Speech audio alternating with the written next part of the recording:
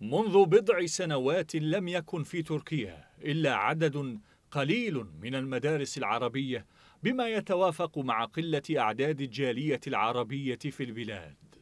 ومع خروج أعداد كبيرة من العرب هجرة ونزوحا نحو تركيا مدفوعين بانتكاسات الربيع العربي والصراعات في المنطقة سعى الكثيرون للحفاظ على الهوية العربية والروابط التي تجمع أبناءهم ببلادهم الأصلية ولعل رابط اللغة العربية كان في صدارة اهتمامات هؤلاء. وكغيرها من القضايا التي تهم الجاليات العربية في تركيا تختلف الآراء وتتنوع بشأن المدارس العربية. فبينما يرى البعض أنها حافظت إلى حد بعيد على الهوية العربية لأبناء هذه الجاليات وحفظت لهم اللسان العربي. يرى آخرون أن ذلك غير صحيح إذ تتهم إدارات هذه المدارس بالسعي نحو الربح المادي فقط دون تقديم خدمة تعليمية جيدة.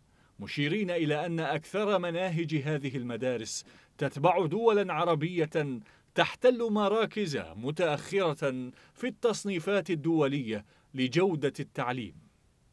المغالاة في تقدير رسوم الالتحاق بالمدارس العربية في تركيا وتحصيل أكثرها بالدولار الأمريكي وليس الليرة التركية يمثل تحديا وعائقا في سبيل إلحاق أبناء العرب بهذه المدارس الأمر الذي دفع كثيرا منهم إلى إلحاق أبنائهم بالمدارس الحكومية التركية التي تستقبل الأجانب بالمجان ودون عوائق تذكر إلا أن ذلك أورث البعض إهمالا للغة والثقافة العربية حتى بات بعض الطلاب لا يعرفون القراءة والكتابة باللغة العربية.